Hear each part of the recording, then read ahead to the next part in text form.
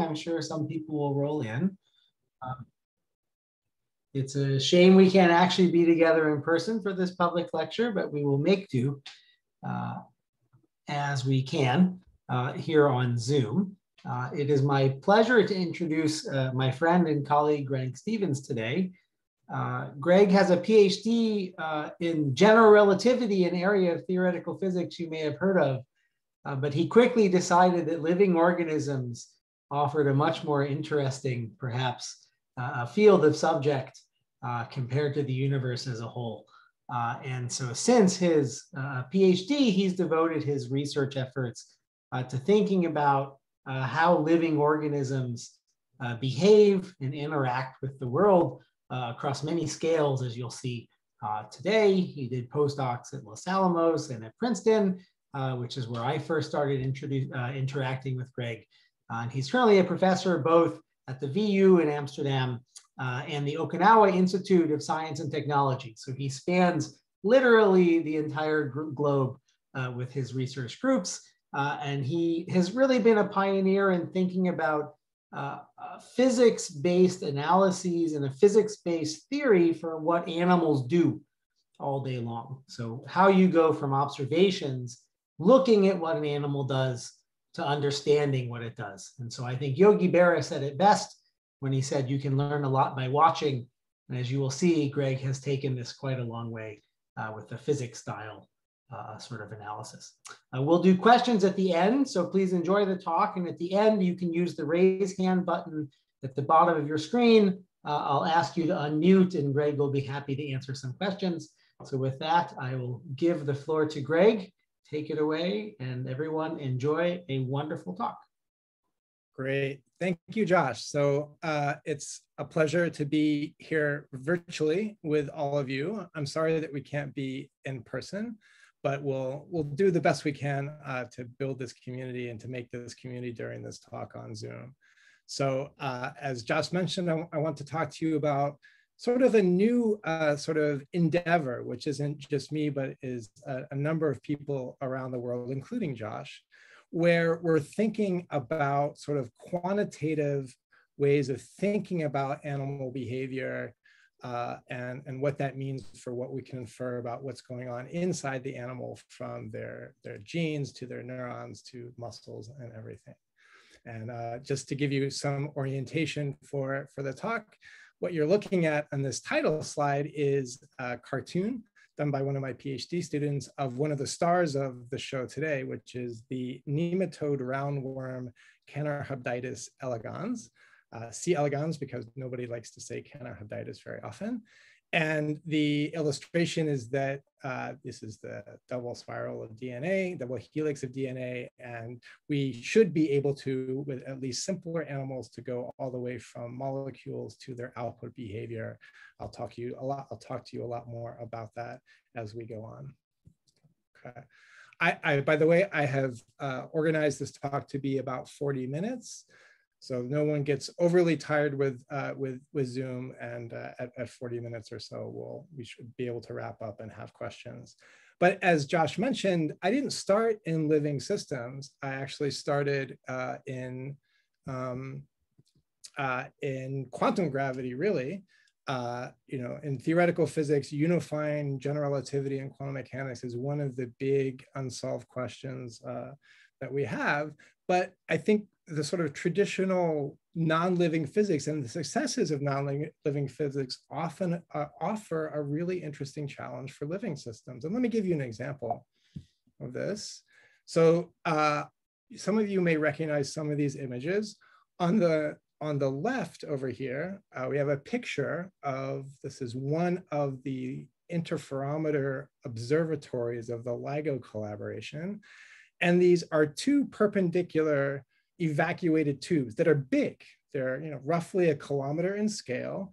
You send light, a, single, a light beam at the center here is split and it's sent simultaneously down one of these arms and down on the, on another one of these arms. And if a gravitational wave happens to come down from space somewhere and goes through the observatory, these arms will be differentially affected and you can measure that. And on the right, one of the modern, most famous images from physical review letters is the first detection of gravitational waves from the LIGO Observatory, the first direct observation of gravitational waves in general. And um, of course, these gravitational waves come from a fundamental theory of gravity, uh, first written, uh, uh, discovered by Einstein. Uh, we've known about the possibility of gravitational waves for quite a while, but they're very weak. Uh, and so I want to point out uh, the units or the size of the deflections that are occurring during one of these gravitational wave events are actually extremely small roughly speaking, on the scale of uh, an atomic diameter over this entire apparatus. And it's really only the combination of our, our strong theoretical understanding uh, that allows us to pull out the signature. These, these this gravitational event uh, could have come from two stars uh, spiraling into each other. There's lots of other sources that cause vibrations. Could be a bulldozer in the in the neighborhood somewhere, but we have a strong theory, so we can pull we can pull out that signal. And I think that's very impressive. And you know, we'd like to be able to be as precise about what seems to be much harder, the complexity of the living world. That's kind of what, uh, that's kind of the goal of, of our work. But then I also wanted to share with you certainly something that, that happened to me along my, my particular professional trajectory. And that is, as I started off with these questions of quantum gravity, unifying uh, quantum mechanics and general relativity, which is certainly a fundamental question, you start to ask, well, we have these beautiful, successful theories in physics. Are those theories themselves uh, the uh, fundamental, uh, or simultaneously is it the living systems that produce these theories? And of course, that leads you into neuroscience and beyond. Okay. When you think about living systems, there are a tremendous range of scales at which uh, you can think, at which you can work.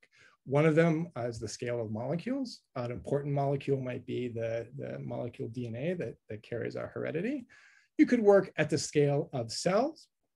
For example, there are signaling cells in your brain. These are neurons, and we understand the pattern of signals that are produced by the neurons.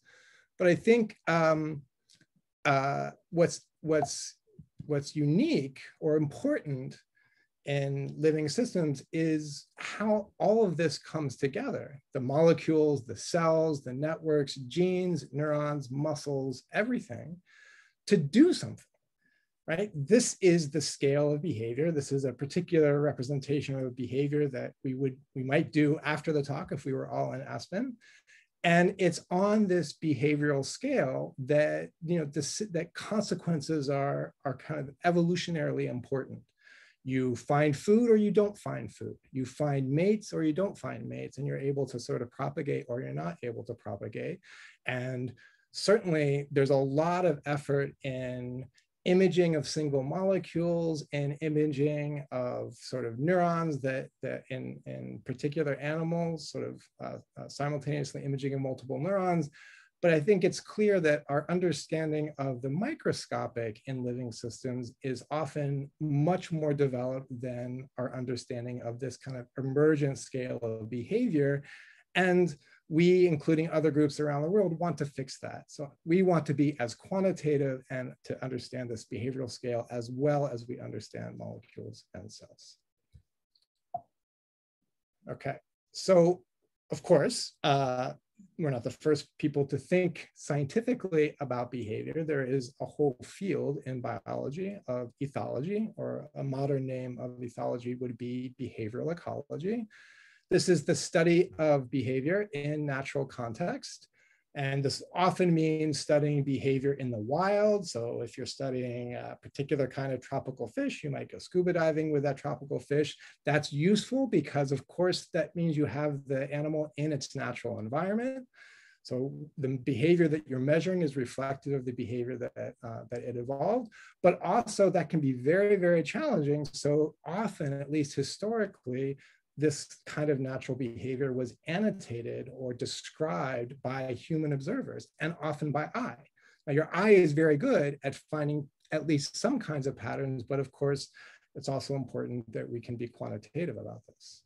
And actually, there are two founders that I'd like to uh, of, of ethology. So Konrad Konrad Lorenz and uh, Nico Tinbergen.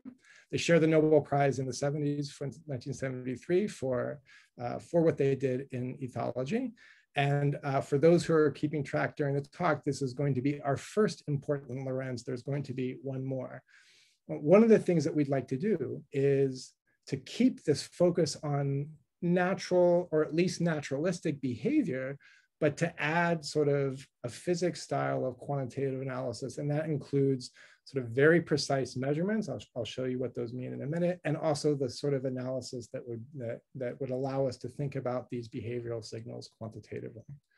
And as I said, that's our first meeting with Lorenz. Okay.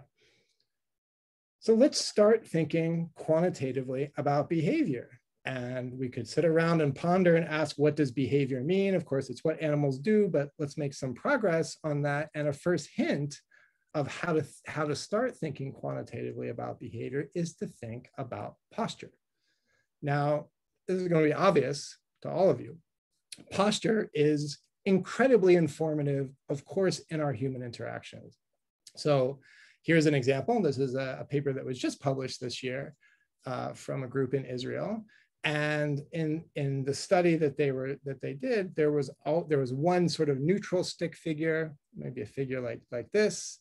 And then there's a figure where they manipulate the posture using these, uh, these, these angles. And as you can see from the different configurations, uh, there's you might be able to infer not just you what you might be able to infer sort of the action of, that particular posture in many many cases. And in fact there's many different postures not every not all of them but there's many postures in which if you just you know if I, I stay like this you have a sense of what's going on inside my head. Uh, you could look at these postures and and they measured actually uh, kind of remarkable agreements among these different posture configurations. And of course, this makes a lot of sense. We all use body language to read the, the, the interior states of people that we're interacting, interacting with. And it's not so surprising then to think that, well, there's a lot of information, not just in the posture of humans, but in the posture of other animals. And we can try to decode that information to learn about why they move the way they move. Okay, now traditionally, that's been hard to measure. How do I measure all the angles that make up my human posture? You know, I got, I got little angles here for my fingers. I have joints, wrists, I have elbow. Uh, you could put me in a suit in a, in a green room. You could put markers on my, on my hand. That gets a lot harder if the animals are smaller.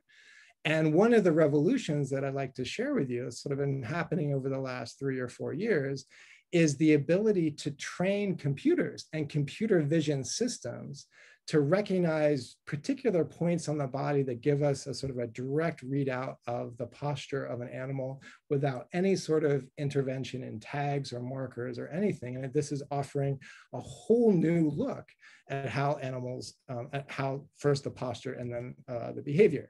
So I think everyone has probably heard about deep networks, convolutional networks, maybe for more for those more technically inclined in the audience.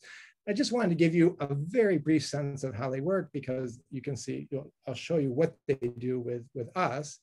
But the idea is you have elements in a, in a computer system uh, in, in layers. So here's a, a, a, first layer where you have this little element here, and it's able to look at a part of this car. For example, the part that's just coming out of the headlight, right? A very small scale look, we'll call it a little filter.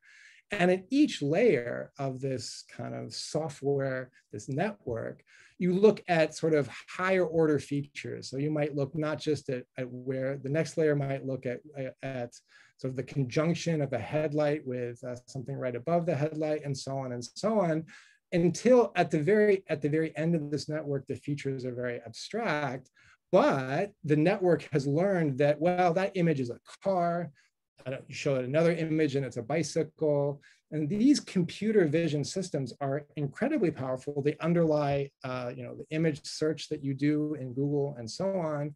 And we can put them to remarkable use when it comes to measuring animal behavior. and let me just show you the output of, uh, of some of these approaches. So here's an example from our own group. Uh, there are no tags. There's been no physical intervention. This is an, a video taken of an observation beehive. Maybe some of you have seen this in a science museum. It's a quasi two-dimensional plate of a, a, honeycomb where the bees make their home, about a thousand bees in this case for the whole hive. And we have been able to train one of these sort of machine vision pipelines, machine vision networks to follow the same bee uh, without any tags. There's no red tag on that bee. That's just something I've, I've put in there for, uh, for your eye. And you'll see that bee goes uh, under other bees. It gets bounced around a lot. And um, it's now, it's not easy, but it's, it's very possible to do this.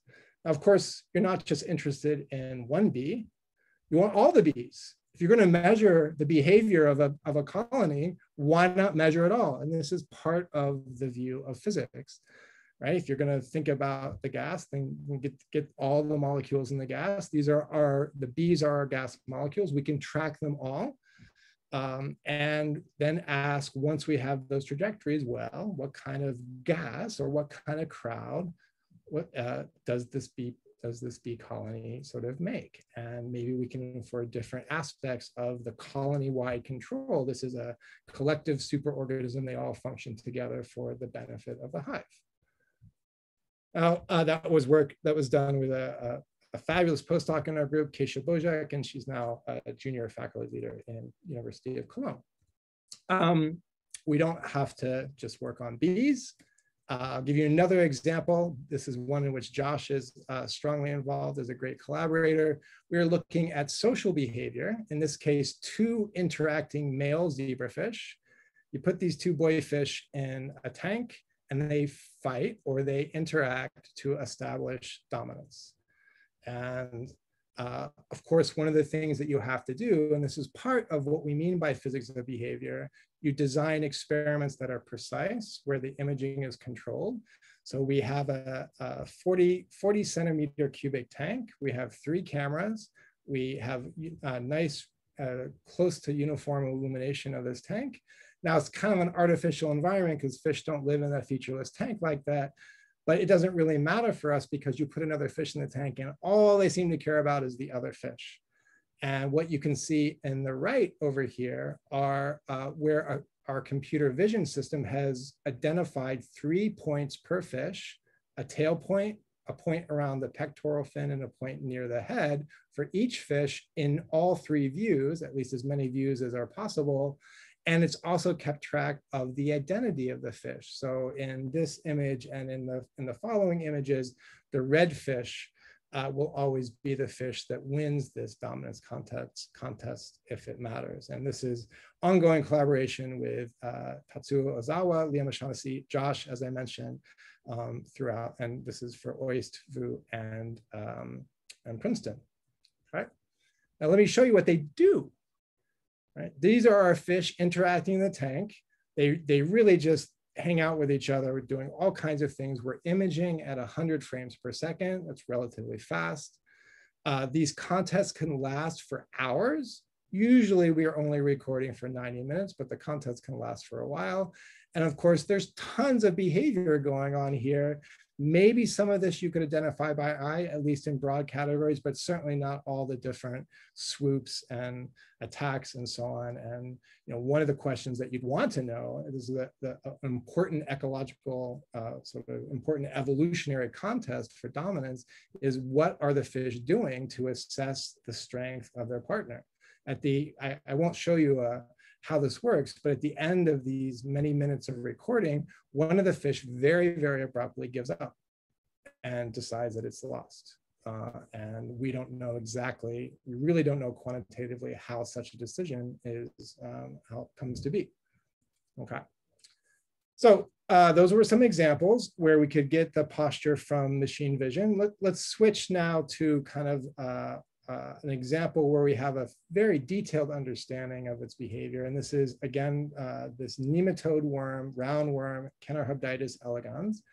It is one of the simplest, if not the simplest animal in which to study the integrative, uh, uh, for an integrative study of, of living systems. So everything from genes to neurons, ultimately to behavior. So let me tell you a little bit about this worm. So uh, it was introduced as a model system in genetics uh, by Sidney Brenner, who often also happens to be one of the founders of OIST, where I work. Uh, and Sidney in the 50s was looking for, given the um, are uh, the dramatic increases in understanding of heredity and genes, he was looking for an example where you could ask what how, how is a nervous system genetically encoded and this animal uh, this uh, elegans has actually 300 neurons. So uh, if you want to be in the know in the worm community they two neurons were just demoted. Uh, it used to be 302 it's now 300 the other two are glial cells i believe. So um, it has exactly this number, 300. It, all animals have the same number. They're all identified. And that seems like a, you know, compared to a human brain, for example, where you have 100 billion, this seems like a number that is still complex, but it does seem manageable. Right. And I uh, just put uh, Cori Bargmann as a, uh, another example of a modern sort of neurobiologist who has thought a lot about how genes and neurons come together to make the behavior of this worm. So it's, it's also powerful because there's all kinds of tools. You can manipulate the cell, you can manipulate the genes, you can focus on neurons, you can measure the whole brain. I'll show you that in a minute. Um, you can freeze them, you can, you can do all kinds of things. So um, this is its connectome or a representation of its connectome that is the wiring diagram that connects uh, one neuron to another. Uh, it has about 600 of these connections, or sorry, 6,000 uh, 6, of these connections. You have many, many more. And of course, this would also be a way to study the relevance of, of that, of those connections. One of the most exciting things apart from the behavior today is that you can image the entire brain of this animal at cellular resolution. Again, it almost feels like a physics experiment because you're getting all the parts of the nervous system. If, if you think of the cells, you're getting all the cells, or at least all the cells in the, the head ganglion of this, of this animal. You can image their activity uh, sort of in, in its entirety. And there's a lot of people around the world who are doing this at the moment, sort of spearheading what is it, you know, how do we, how do we think about how all these neurons come together and how do they come together to form behavior?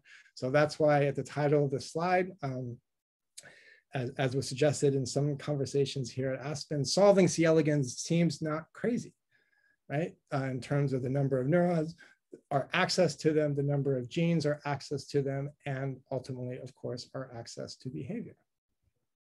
So let's think a little bit about behavior.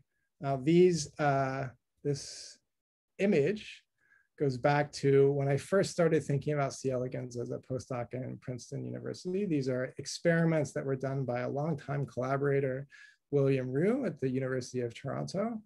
And actually at the time that Will made uh, these experiments, the typical experiment in the fields and people thinking about C. elegans was to put a graduate student in front of a camera, in front of a microscope and just ask them to record when they thought the animal was moving forward, when was it moving backwards, what was the animal doing. And you, you know, there's a lot richer dynamics that are going on in this case. So on the left, you see a silhouette of the, the outline really of the body of the worm as it moves along. It's moving along a two-dimensional surface of an agar plate. That agar plate is what you see in the right. The red square denotes the tracking microscope. So these are only a millimeter long, these little guys. So if you're gonna see them at the scale like you see on the left, you have to use a microscope. That red square denotes the location of this tracking microscope. Will is controlling it automatically, so it follows the worm.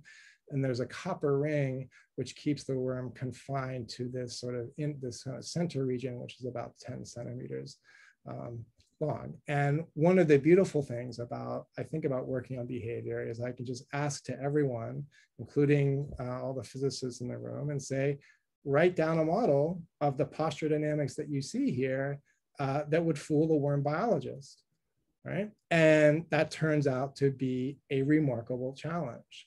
So clearly the animal isn't just, isn't just random. There's patterns in the way that it moves but there's a lot of variability and understanding kind of as is typical with living systems, they're neither fully disordered nor fully ordered. It certainly doesn't look like a robot snake right? And and understanding sort of what is the what is the tension between this variability and stereotypy and what kinds of models we should write down uh, that would actually describe that movement is a, is a deep question in behavior.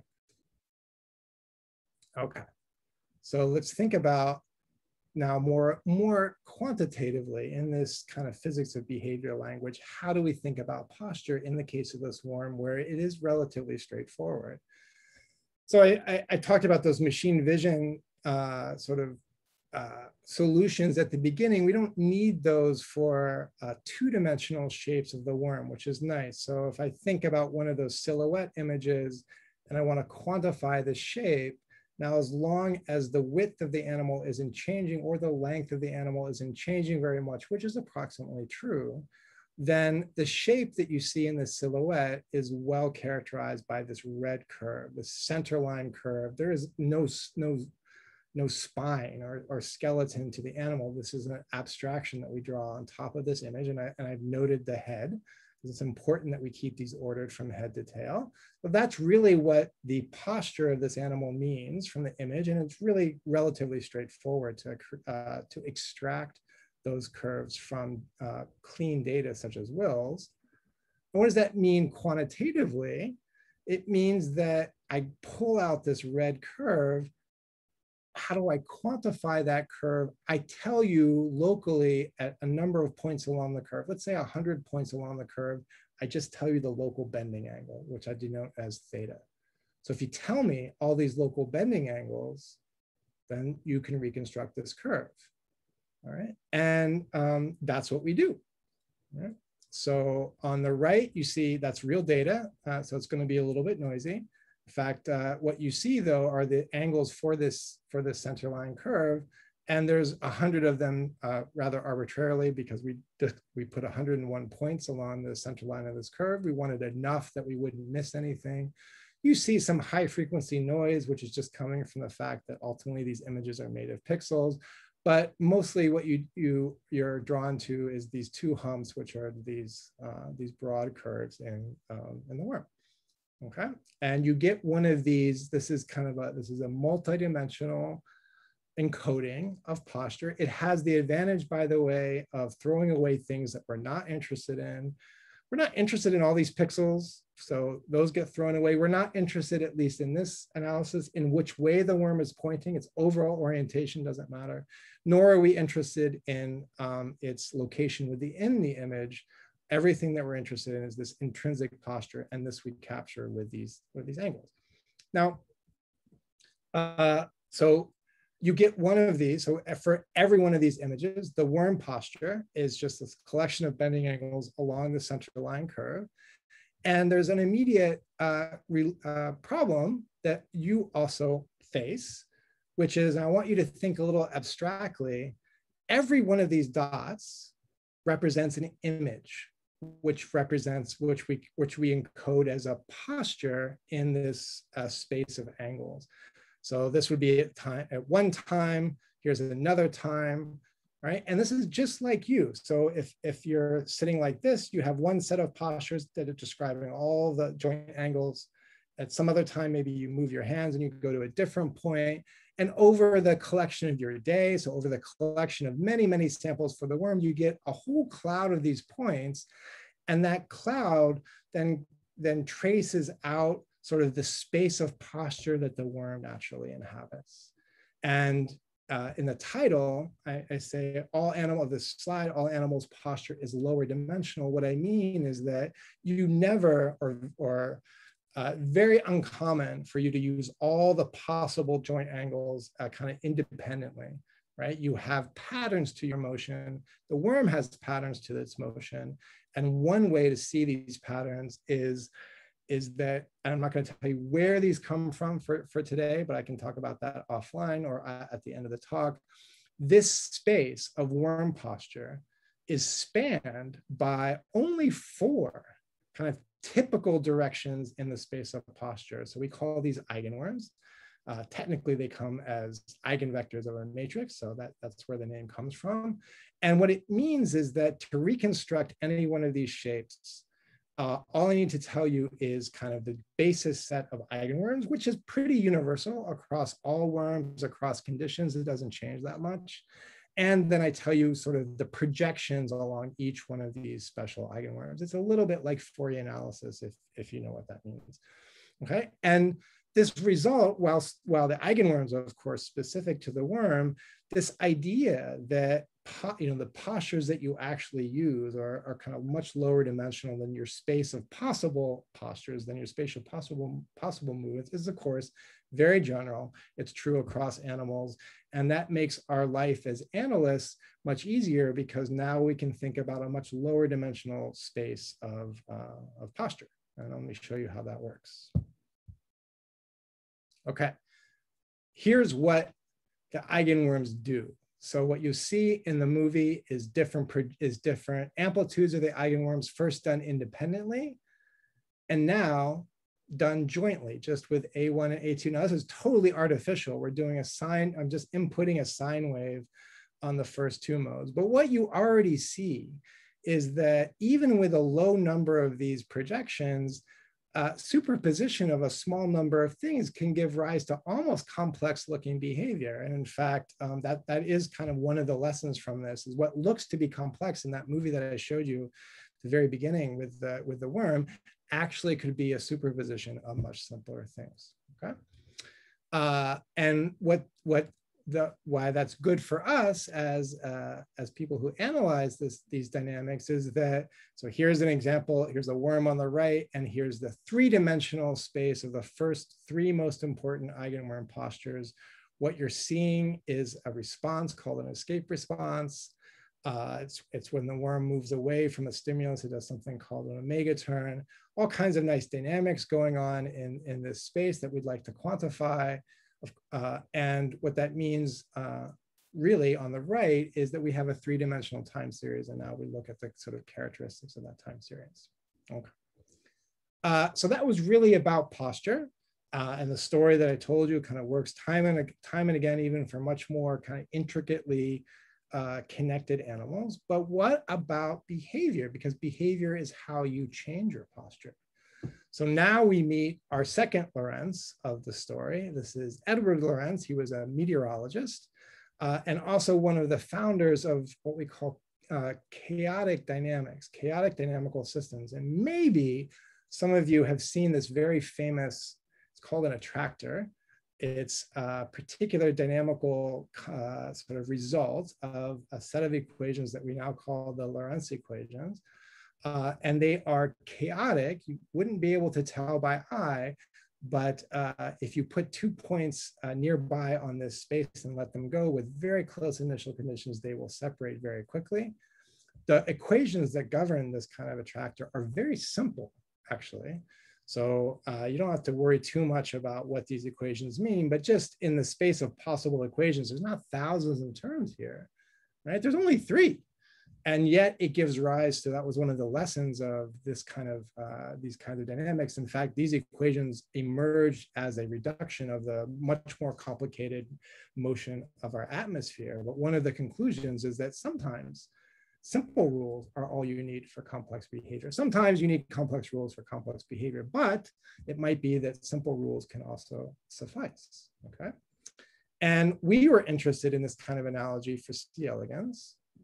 So uh, we didn't know the equations, like we don't have our version of equations like Lorenz had for the Lorenz attractor. So we have to seek those, we have to seek the relevant degrees of freedom in the time series of postures. And we have a particular technical way of doing that where we have combinations of our measured variables, these eigenworms over time.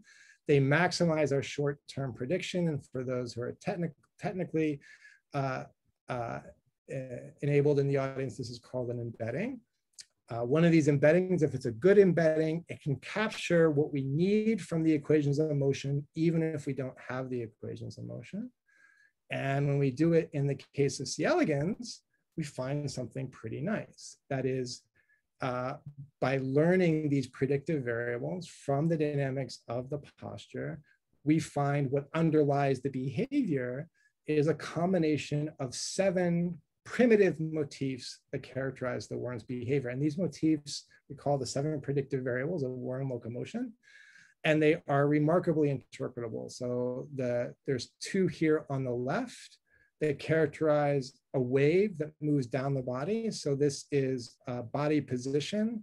This is the curvature along the body and over time in the verti vertical direction. So when you see uh, something move down like this in time, that's a wave traveling down the worm's body. So this is forward locomotion. You sort of see the opposite in these other two modes. These are reversal modes. So this is when the worm sort of switches into a reversal gear. This is reversal locomotion. And then there are three more broad waves that don't have as well-defined dynamics, but are certainly involving more of the body. They, they, they have less um, zero crossings. And these three variables correspond to the worm making these deep turns, uh, including the, the turns that you saw during the escape response. And they're really, you know, the, the behavior that we see on the on the agar plates without food is well described by these seven, these seven variables. Okay. Now, uh, just to just to reinforce the interpretability of these variables, and uh, I'm sorry, the, the x should be a gamma. So these are the seven variables. So these are the two forward gammas.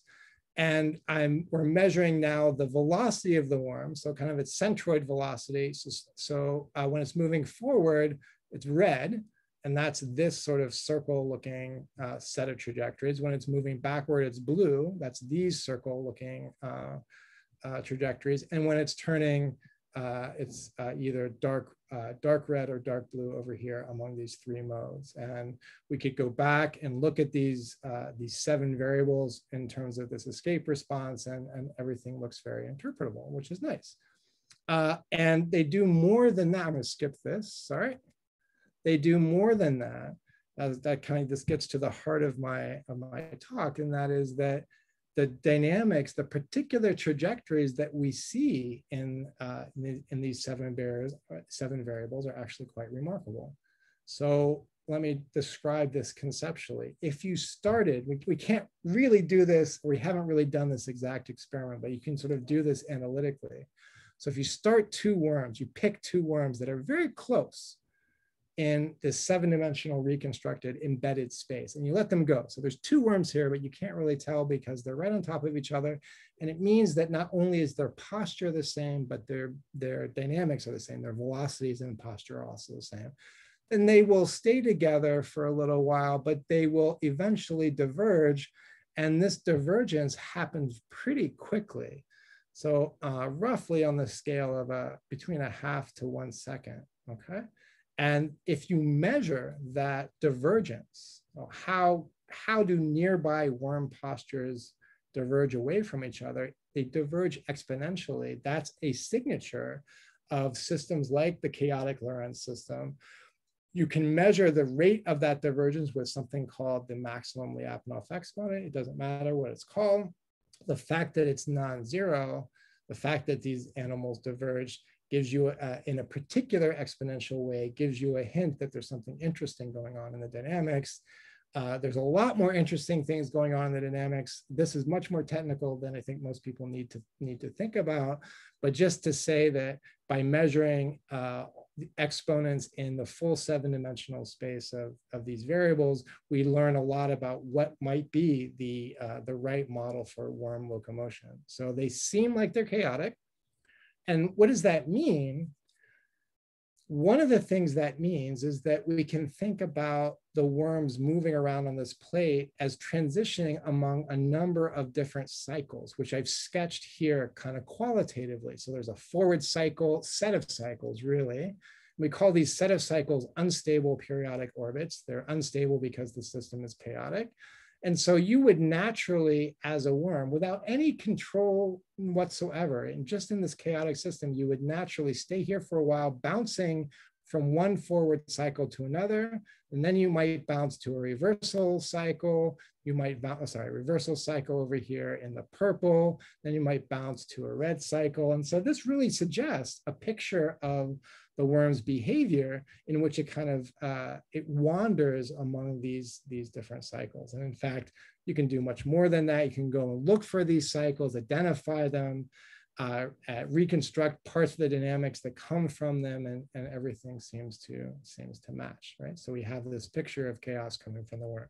Okay, I didn't want to go too long, um, so I want to come to kind of a, a conclusion, right? There's a lot more to come in in groups, not just in our work, but from groups from around the world, where we're thinking about behavior in this new posture-driven, high-resolution manner.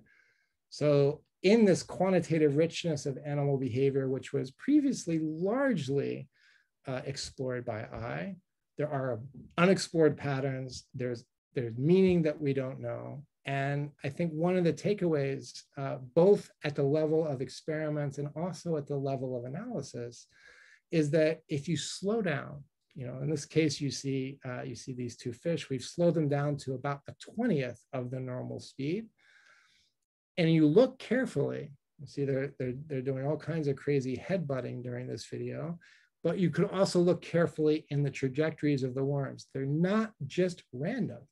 So if you look carefully and you characterize what you see quantitatively, then uh, there's a lot to learn uh, about behavior. And we're just getting started. And I want to thank you for uh, your patience as I, I, sort of explored and explained a little bit about what we do in the physics of behavior. So thank you.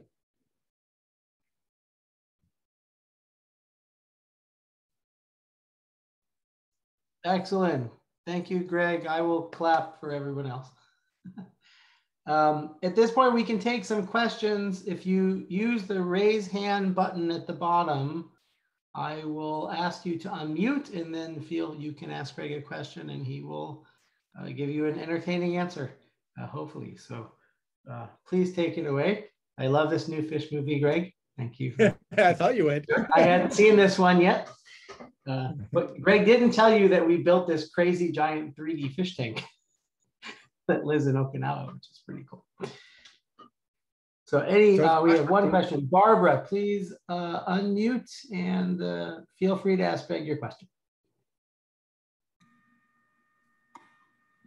Uh, hello, this is uh, Barbara's husband, Michael. And um, I thank you for the effort that you put into this presentation. I'm wondering what its implications are for understanding the social behavior and the, and the meaning of same um, of, of animals, like for instance, dolphins and whales. Um, they probably communicate somehow with their postures and their behaviors. Um, can this um, process that you've unveiled help us understand um, the correlation between the postures and behaviors and the social aspects of these animals? Yeah, so so thank you for your question. Absolutely, uh, Josh and I really got interested in this in the system that you're looking at on the screen now, precisely because it's a rich social behavior that we think we can we can access quantitatively. And not only are the, the dynamics that you see on the screen uh, pretty interesting, but that's far from all that's happening. So the fish uh, during this contest are changing they're changing the erectness of their fins. They're trying to make themselves, we think, look larger. Again, that's qualitative. They are changing the the um, the contrast of their stripes. They're making their stripes stand out more, and all of this is is you know to to provide evidence to the other fish about about their strength. At least we think.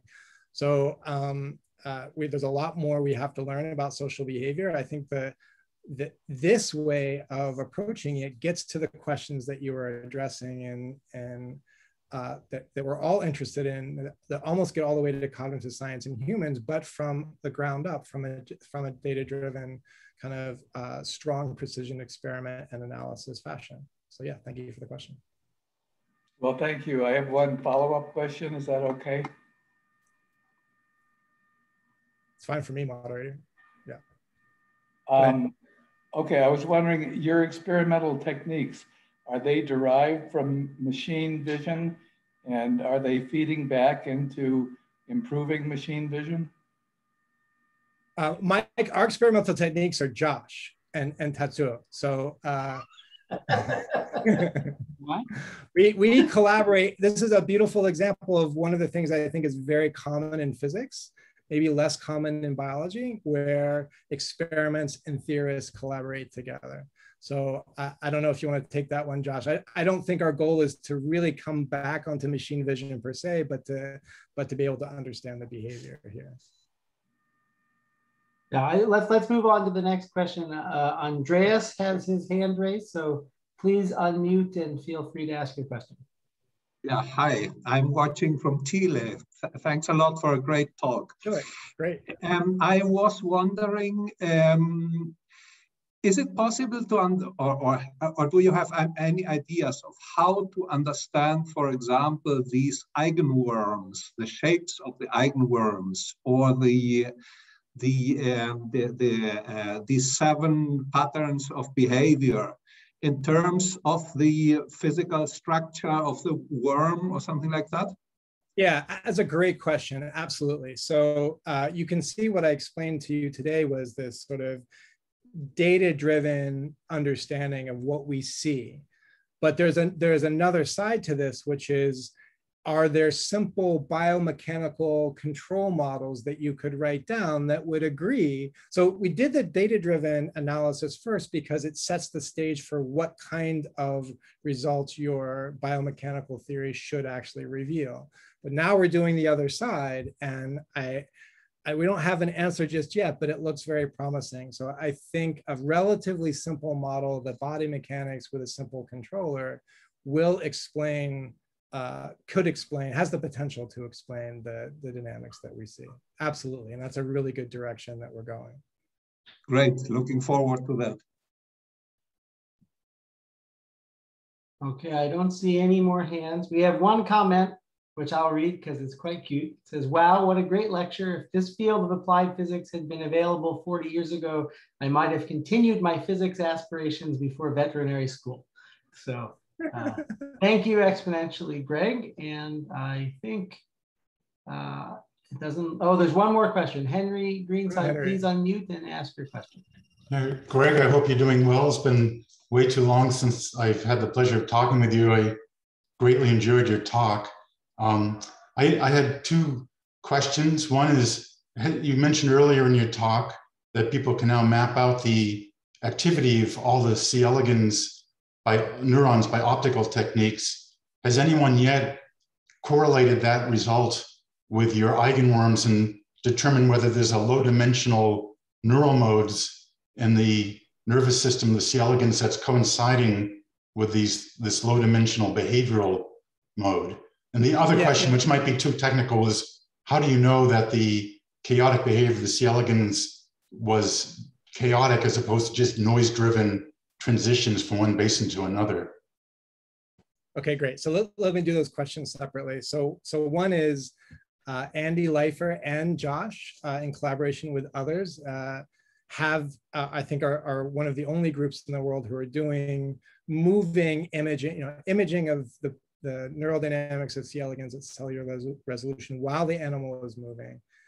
There's, uh, there's some low dimensional behavior uh, I think if and when the worm, yeah, I, I, think that story is still kind of unfolding at the moment, but I have every every belief that there will be a connection with the low dimensional uh, dynamics of the eigenworms. Um, the the second question is is also super astute.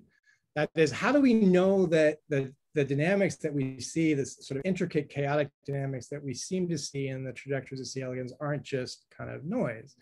And I alluded to it when I flashed this Lyapunov spectrum on uh, uh, quickly on a slide.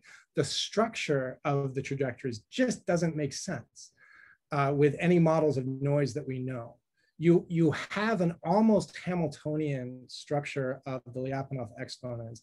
And to Andreas's question before, we really think that's coming from elastic body, uh, so the elastic body mechanics of the, of the body wall. So there's absolutely still room for noise, but uh, in the and also in the in the unstable periodic orbits, uh, it doesn't seem like the, the noise picture is really parsimonious with, uh, with the analysis that we see. So that was a little bit of a surprise, by the way, right? I think your first intuition might be that, well, it's just, it's kind of this noisy process. But of course, even in that case, you have to explain, well, where, you know, how do you transition from one behavior to another? And our answer, at least in this chaotic landscape, is you don't really think about it. It just happens naturally from the dynamics. Thank you very much. And again, I enjoyed your talk. Great.